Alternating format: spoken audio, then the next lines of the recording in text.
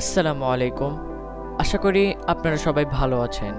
আজকে আমরা এই ভিডিওতে দেখাবো সপ্তম শ্রেণির চতুর্থ সপ্তাহের বিজ্ঞান অ্যাসাইনমেন্টের সমাধান। বিজ্ঞান অ্যাসাইনমেন্টের প্রশ্নসহ সমাধান ভিডিওতে দেওয়া হলো।